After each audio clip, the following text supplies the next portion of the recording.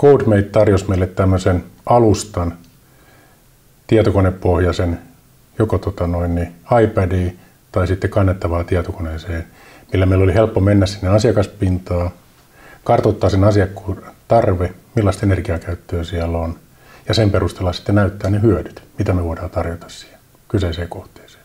Taisi olla aika ainutlaatuinen IT-projekti, missä mä oon ollut mukana 20-vuotisen uran aikana, että ensimmäisen kerran niin suunnitelmat piti kutinsa, aikataulu piti kutinsa ja kustannukset piti kutinsa. Että hämmästyttävän hyvin johdettu CodeMatein puolelta.